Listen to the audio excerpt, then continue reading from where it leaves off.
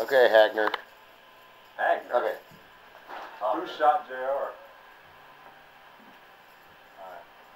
Uh, Heartbreaker.